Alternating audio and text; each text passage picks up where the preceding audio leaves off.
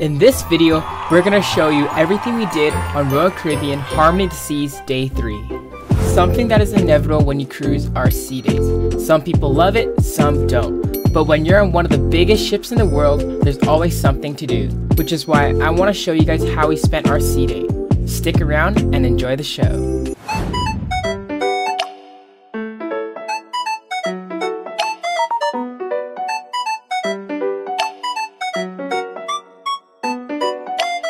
Hey everyone, so our first stop is at Windjammer on deck 16 for breakfast.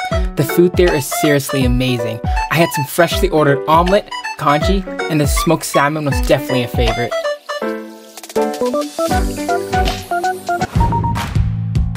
Next off, we heard there's a parade at the Royal Promenade, but unfortunately we got there a bit too late, so the view wasn't great. But later I managed to find a slightly better angle and here's some of the clips we recorded.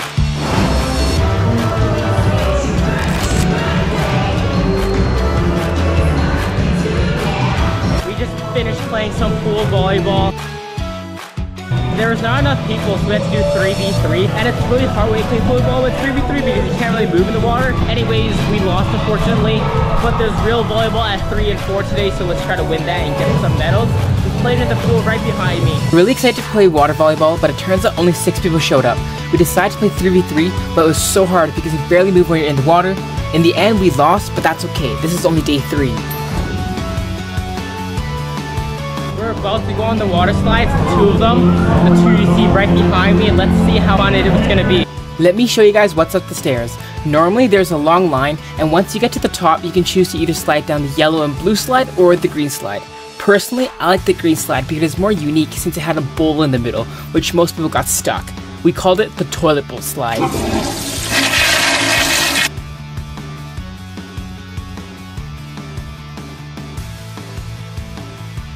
Since we are already went from the slides, we decided to try the flow rider. If you don't know what that is, pretty much it's a wave simulator. It mimics the feeling of real waves so you can try things like boogie boarding and if you're brave enough, even try surfing.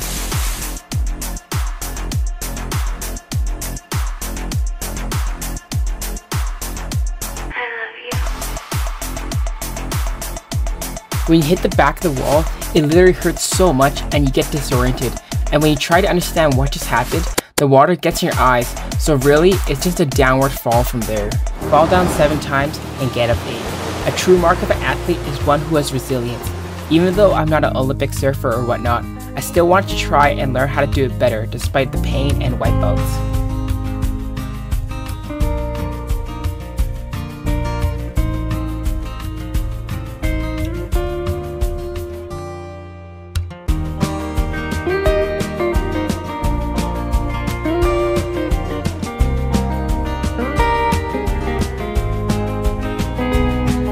If the instructors can see that you are capable of doing some basics, then they will teach you some more advanced moves. In my case, how to stand on my knees. I couldn't figure out how to stand on my knees without falling. It was quite tricky. For my next cruise, improving at Flowrider is going to be one of the goals.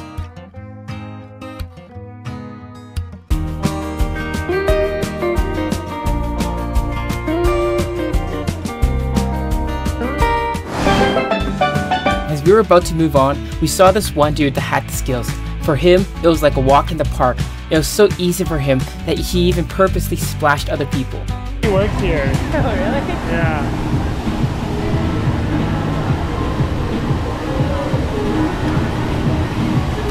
We just finished Flowrider and that was super hard. Oh, that was so hard. I kept falling. it looks, it doesn't look that bad. Yeah, Once like, you're on it, it's so hard to control. There's some people that are so good. They Everyone makes it look easy. Yeah. We just kept wiping out. Over here, these people are surfing. Oh,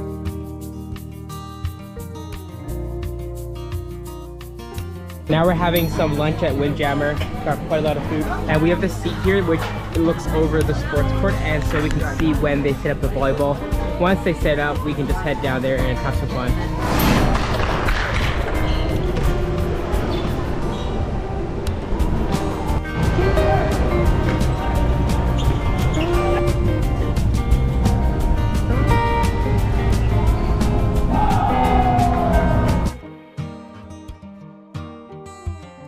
If you lost me, the first place to check out is the sports court. I spent a lot of time there at the sports deck. whether it's playing volleyball, pickleball, dodgeball, or anything else. I was always happy to be there. It was also located in a very nice place with a nice view, so why not?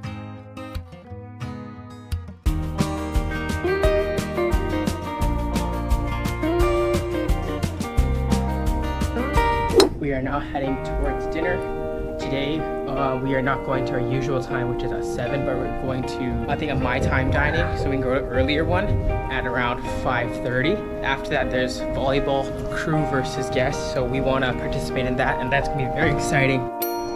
Dinner is on the other side of the ship, so I'm just going to walk through Central Park because it's nice to walk around here, and you get some live plants, fresh air. Let's just walk around to go to the other side and head towards dinner. So nice because you're inside, but the open roof makes it feel so alive.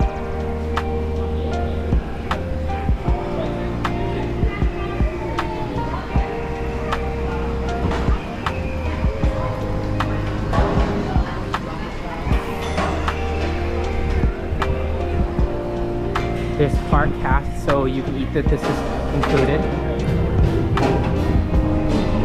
This is kind of like Windjammer in the food, but a little bit less variety. But if you want to eat in here instead of Windjammer on deck 16, you can also eat there with a nice view.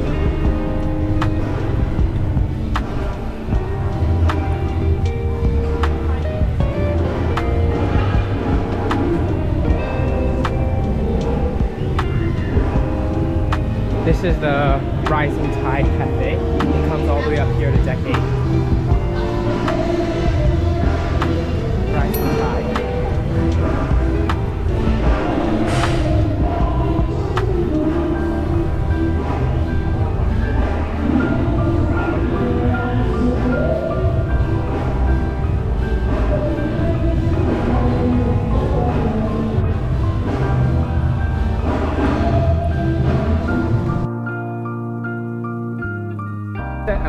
Menu here instead of looking inside so we can know what we want before we enter.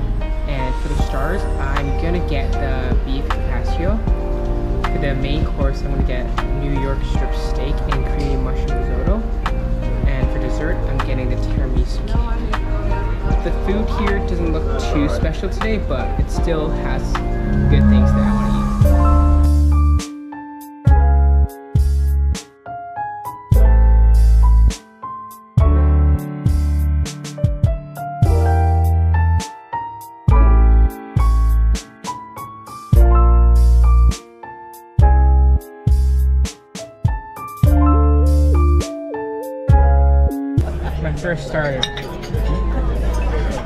A, I forgot the name of this. Maybe like crispy golden something. But they have like sauce in here too. Sauce. Thank you. Spinach too.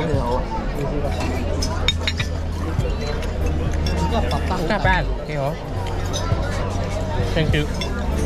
Alright, my second starter came, the beef carpaccio. Looks really good. Alright, thing I was waiting for is the New York strip steak. It looks very good. It looks juicy with that butter, potato, and some vegetables. So let's dig in and try this out. It looks good. Let's get this butter and just lavish it on right now. Huh? load this with butter. That might be too much, but try this now. That looks good. Yeah, looks good. All right, my entree number two came. So the first one I got was steak, that's devoured, and now I got a mush creamy mushroom risotto. Looks pretty good, but also very filling. I expected it to be smaller, but I'll try my best to finish it.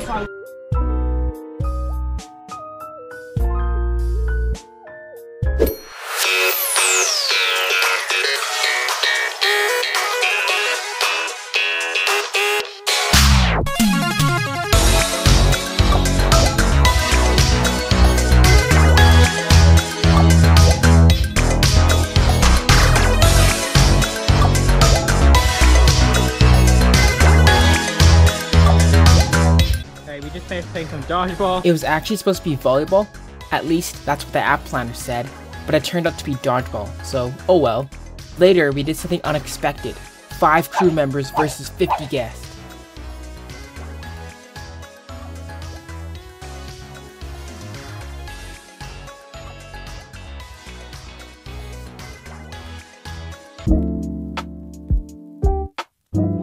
So we just finished some volleyball against the activity staffs and I decided to come up here to check out what there is. Some pork chop, fish, and some beans. Looks very good. And after this, we're gonna go to the skating show 1897. Excited to see that. Come along. All right, this is the Windjammer at nighttime. Let's see what they have.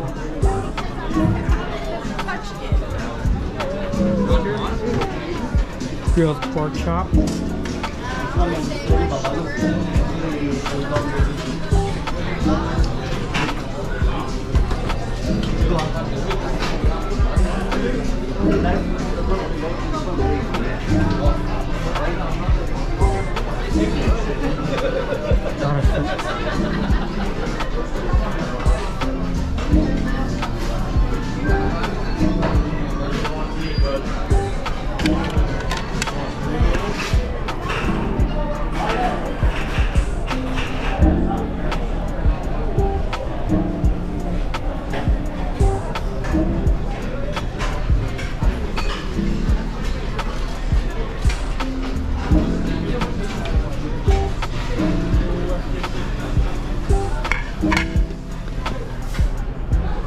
food was so good that I ended up getting three plates. The fish fillet was especially good, super soft and full of flavor. After this, we went to watch an ice show called 1887. This was so cool. This is different from the typical Broadway shows at the theater. If you can, this is a must try show. shadow of the Eiffel Tower is just beginning to stretch over the Parisian landscape. We are in the middle of the Industrial Revolution. Aviation pioneers are starting to explore the skies. I have like 30 minutes of clips, so I'll just show you some of the highlights. If you're interested in watching the full show, then I'll have the full video in the link below or in my channel called 1887. Make sure you're subscribed to get notified.